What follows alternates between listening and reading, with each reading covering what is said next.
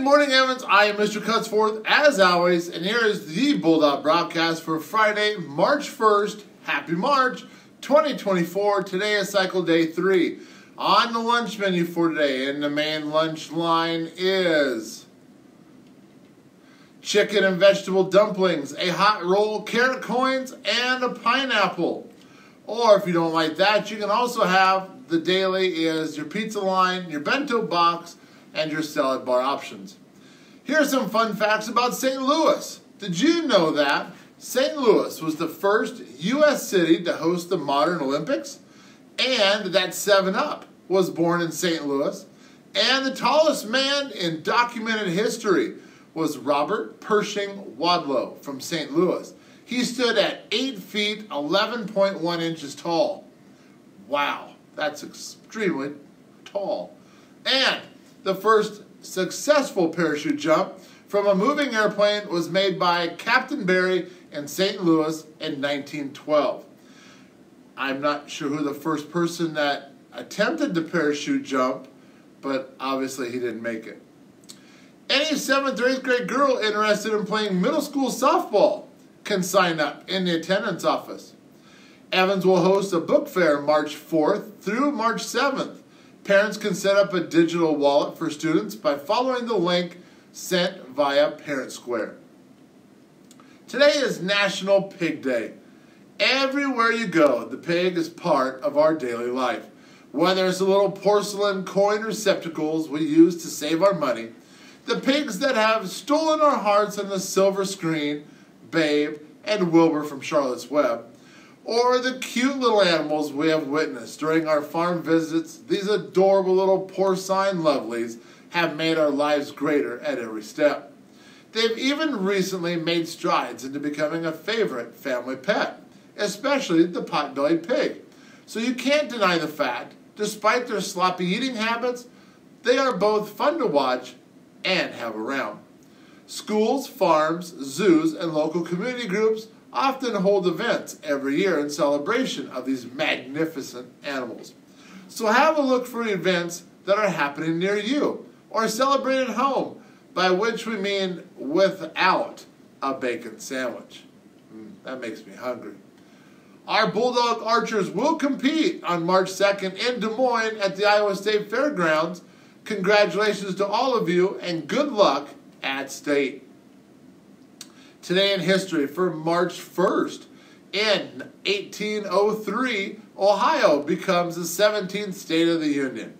And in 1872, Yellowstone becomes the first national park. And in 1998, Miami's own Pat Riley becomes the fifth head coach to record, record 900 career NBA wins with the Miami Heat. And in 2016, the Forbes richest list released, Bill Gates was number two with $75 billion. That's right. Mr. Smith was number two at $71 billion. So talk to Mr. Smith there at school. And in 2023, social media site TikTok announces a 60 minute daily screen time limit for users 18 and under. Sorry, middle school, no TikTok if you've been on for an hour. Man, that's a long time. Here are your Evans Students of the Week for February 26th through March 1st.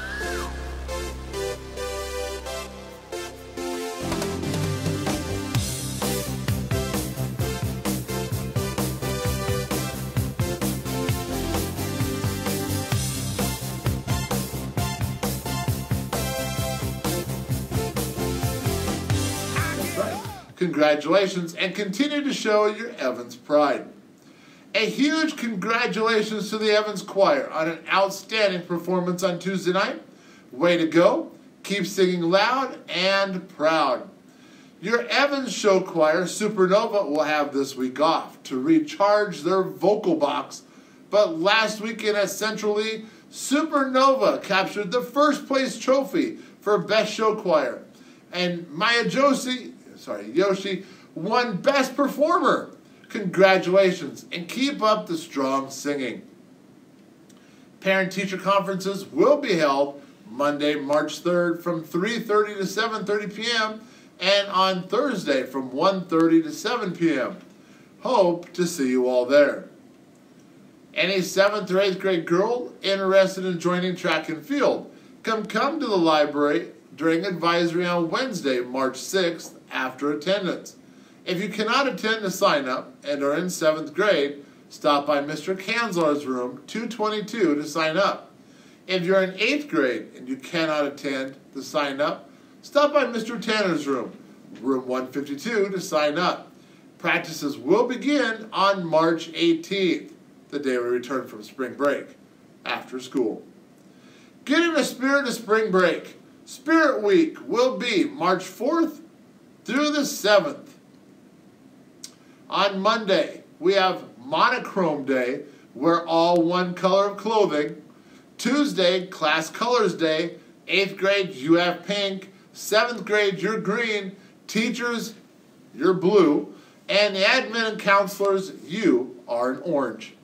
Wednesday, a student dressed like teachers and teachers dressed like students. And Mrs. Bemis knows the last time I dressed up like a student. That wasn't a very good day. Thursday, Bulldog Whiteout Day, wear white. Remember that the dress code still applies to Spirit Days, so dress up, but dress appropriately. Have a great day, Evans. The weather's going to be perfect this weekend. Get out, have some fun. Teachers, please lead your students in the Pledge of Allegiance. Stay classy, Evans.